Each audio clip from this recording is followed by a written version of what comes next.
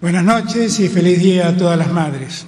Miren, en esta facultad me eduqué y en esta facultad educo. Aquí aprendemos lo que es el Estado de Derecho. Sabemos que un presidente no se debe involucrar en la justicia. Sabemos también que no debe firmar decretos que favorezcan a sus hermanos. Sería bueno que hablemos de esas cosas, pero esta semana que pasó le dedicaron mucho tiempo a mi índice. La verdad es que mi índice solo marca errores y señala inconductas.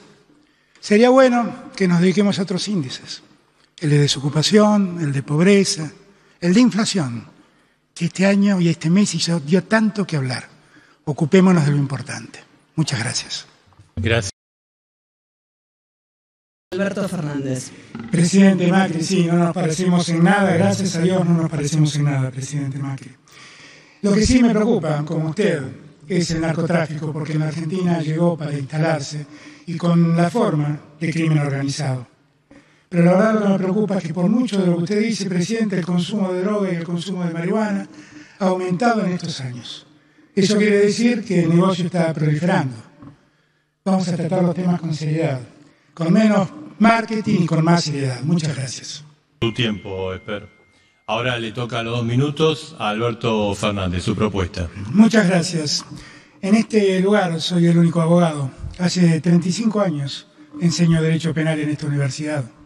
Por lo tanto, no esperen que le dé soluciones fáciles al problema de la, de la seguridad.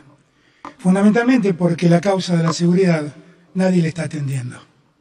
Es más fácil pegarle a, lo que la, la inseguridad genera es más fácil hablar de mano dura, de penas más fuertes, pero la realidad es que el problema de la inseguridad está directamente vinculado a la desigualdad de una sociedad. Las sociedades más igualitarias son las sociedades que menos crimen tienen. Esto cuesta entenderlo, pero es así. Y la Argentina ha generado una gran desigualdad. En estos últimos años, el entramado social se ha quebrado absolutamente. Y esto es fácil de ver. Los padres se quedaron sin trabajo, las madres no tienen alimento para sus hijos y los hijos dejaron el colegio. Y los controles sociales que se ejercen en la familia, en el colegio, en los clubes de barrio, se fueron deteriorando. Vamos a reconstruir ese control social. Eso es lo que debemos hacer. Y el modo de generar más igualdad. Así como digo esto, también digo que hay que delinque hay que castigarlo. Y en eso la justicia debe ser implacable. Nosotros proponemos crear un Consejo de Seguridad para que el problema de seguridad deje de ser el problema de un gobierno y empiece a ser un problema de todos, que sea una política de Estado. Que en ese Consejo de Seguridad se involucren todos los que tienen que ver con la materia, de una vez y para siempre. Ocupémonos de hacer una política criminal que ponga límite al delito sin facilismos, con seriedad. Es lo que les propongo. Muchas gracias. Alberto Fernández. Presidente Macri, sí, no nos parecemos en nada, gracias a Dios no nos parecemos en nada, presidente Macri. Lo que sí me preocupa, como usted, es el narcotráfico, porque en Argentina llegó para instalarse y con la forma de crimen organizado. Pero la verdad lo que me preocupa es que por mucho de lo que usted dice, presidente, el consumo de droga y el consumo de marihuana ha aumentado en estos años. Eso quiere decir que el negocio está proliferando. Vamos a tratar los temas con seriedad, con menos marketing y con más seriedad. Muchas gracias. Mauricio Macri. Maldonado, desde el primer día, ante las denuncias, dijimos que íbamos a ir por la verdad. Y 52 peritos en forma unánime dijeron que las denuncias eran falsas. Esto fue un claro ataque a una institución que es muy reconocida por su labor contra el narcotráfico. No fue casualidad. Por eso estamos batiendo récords de incautación de droga, porque apoyamos a nuestras fuerzas de seguridad, creemos en ellas y ratifico nuestro compromiso para dar batalla sin cuartel al narcotráfico. Bien, gracias eh, Mauricio Macri. Eh, son 30 segundos, Luis Fernández. A ver, me parece que tenemos que ser serios, presidente. El presupuesto de seguridad en relación al presupuesto del año 2015 cayó en términos reales un 38%. No aumentó. Además me preocupa su optimismo. El año pasado hubo 3.262 personas asesinadas. No creo que sus familias se hayan sentido protegidas por usted. Es un tema muy serio. No me gusta tratarlo de ese modo. Hablemos de verdad. Gracias. Muchas gracias, Juan. Presidente, en materia energética, usted lo que hizo básicamente es llenar los bolsillos de sus amigos. Subió las tarifas de un modo tan cruel que la Argentina se quedó sin energía. Y usted se pregunta cómo yo, en mis años de jefe de gabinete, no vi la corrupción de la obra pública. Y usted en el clan Macri no vio la corrupción en la obra pública, presidente. No vio lo que pasaba en su familia. Después nos contó cuando su padre murió que su padre era el responsable. Presidente, hablemos en serio. A mí no me va a correr. Muchas gracias. De Alberto Fernández. Muchísimas gracias. A ver, la Argentina hoy tiene la tasa de desempleo más alta de los últimos 13 años. Es razonable.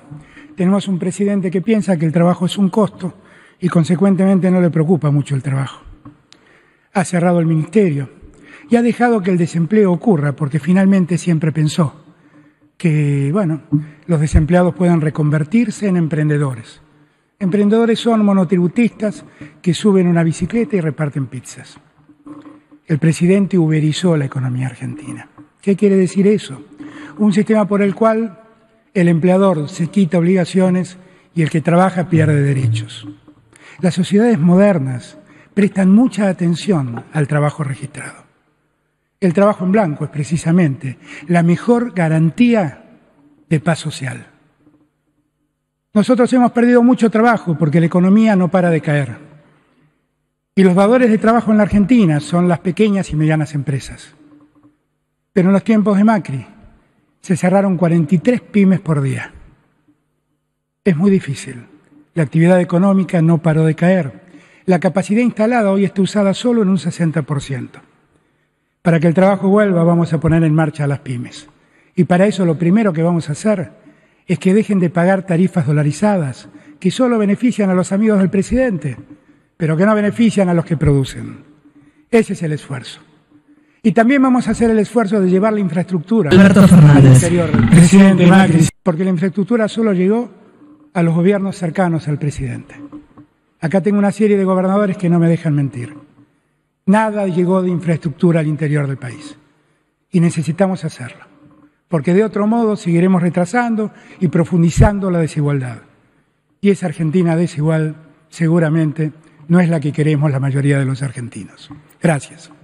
Le dimos vuelta a la energía, después de la peor gestión en energía de la historia, que nos había dejado sin gas, sin petróleo y con cortes todos los veranos.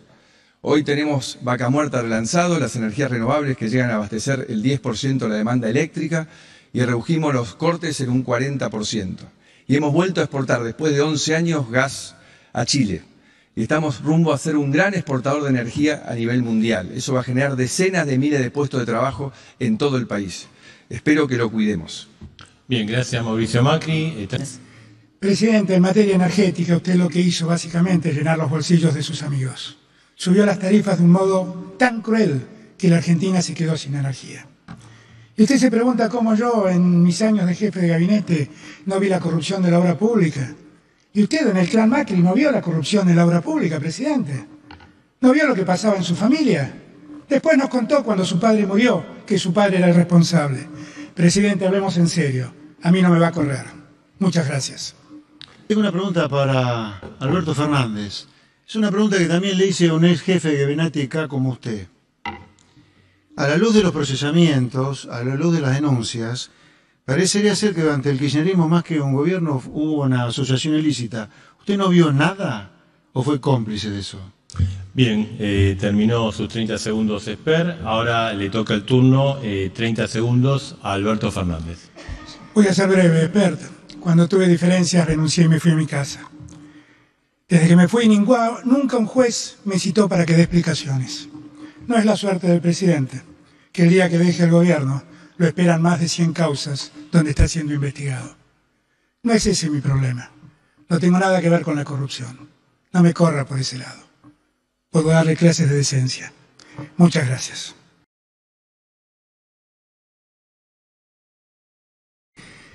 En realidad, yo quisiera que el presidente se ocupe seriamente de la calidad institucional, porque los argentinos estamos llenos de dudas. Quisiéramos saber ¿Qué fue lo que pasó con los parques eólicos, presidente? Quisiéramos saber cómo fue que su hermano terminó blanqueando dinero cuando la ley se lo prohibía hacer. Quisiéramos saber qué iba a hacer con el correo, al que no le pagaban los cánones, mientras su hermano tenía dinero en el exterior. Dudas que tenemos los argentinos y que hablan de su conducta, presidente. Muchísimas gracias. Miren, la Argentina dice ser un país federal, pero en verdad no lo es. Es un país donde el gobierno nacional concentra mucho poder y donde las provincias mendigan en torno a la parte que les toca. La verdad es que este modelo de país ha sido muy ingrato. La Argentina no tiene una Argentina central y una Argentina periférica, es una Argentina.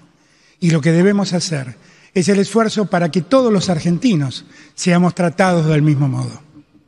Ese es el esfuerzo que me propongo hacer, si me toca ser presidente, con los 24 gobernadores de la Argentina. Hacer un país federal. Un país que permita que el que nace en cualquier latitud de la Argentina pueda crecer, desarrollarse, trabajar en el mismo lugar donde ha nacido. Así como el federalismo se ha deteriorado en este tiempo, mucho más se deterioró la calidad institucional. El presidente Macri vino diciendo que iba a poner orden y que iba a mejorar la calidad institucional, pero lo primero que hizo fue proponer dos jueces a la Corte por decreto.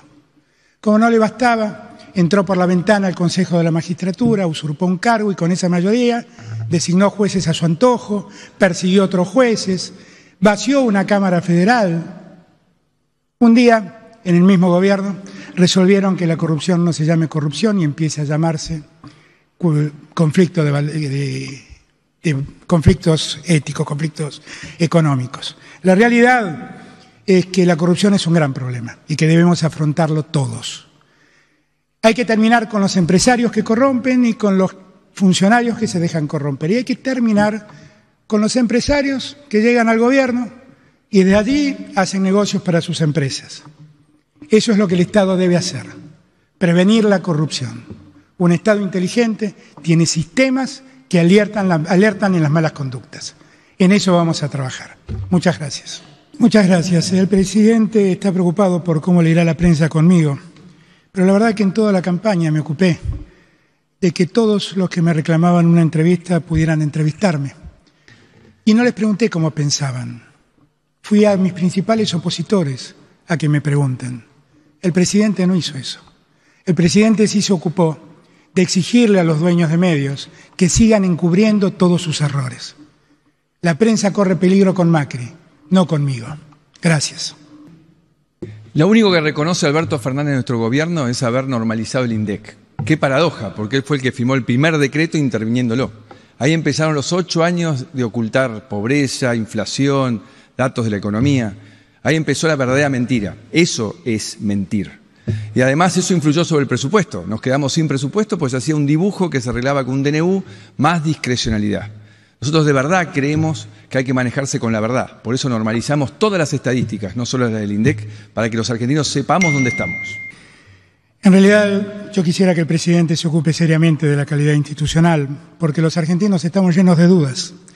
Quisiéramos saber qué fue lo que pasó con los parques eólicos, presidente. Quisiéramos saber cómo fue que su hermano terminó blanqueando dinero cuando la ley se lo prohibía hacer. Quisiéramos saber qué iba a hacer con el correo, al que no le pagaban los cánones, mientras su hermano tenía dinero en el exterior.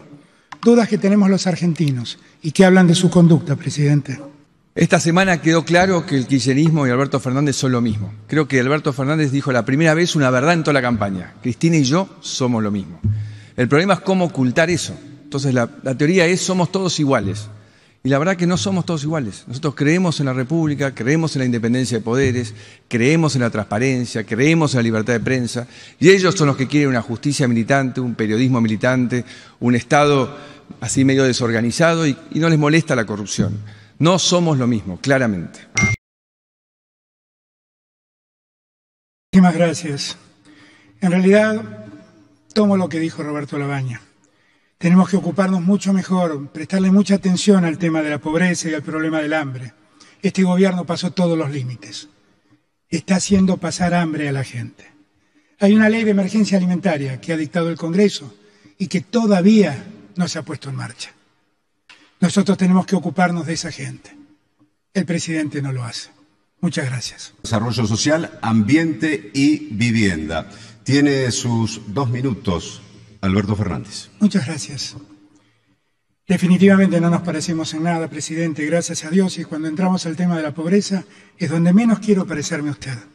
Cuando usted termine su mandato, la Argentina va a tener un 40% de pobres.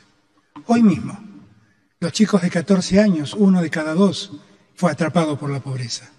Hay tres millones y medio de argentinos que cayeron en la indigencia.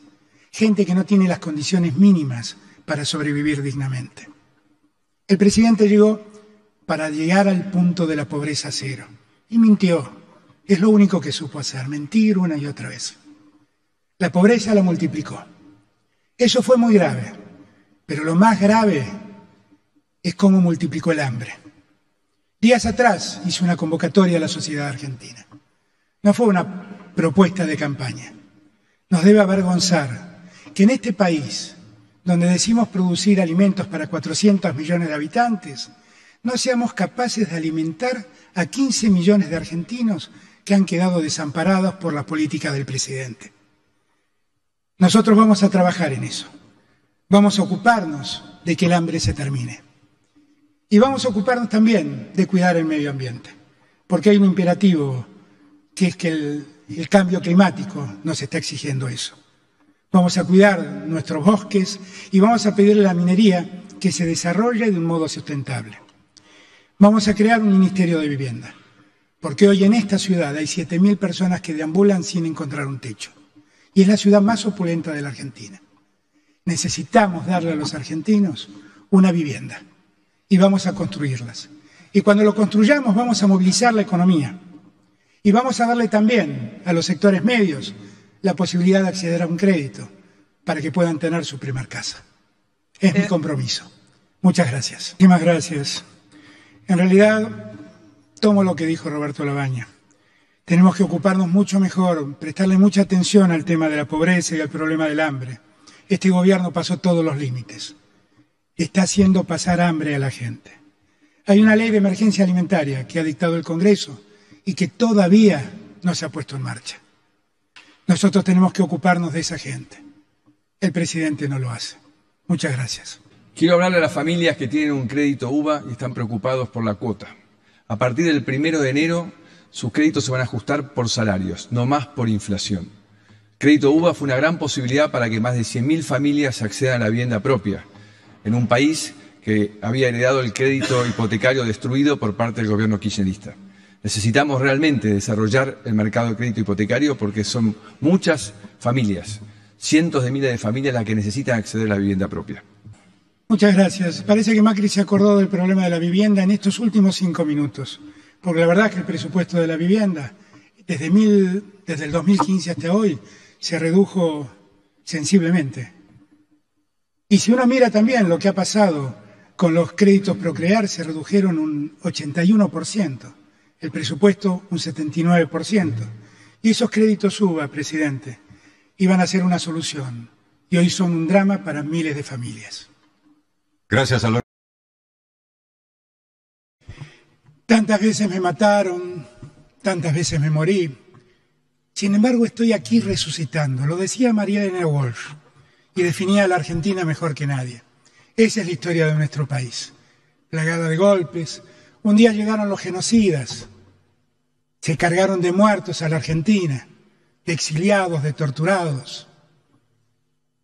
Vino Martínez de Oz, Vino la guerra de Malvinas y después vino la inflación, el plan Bonex, el corralito, el default.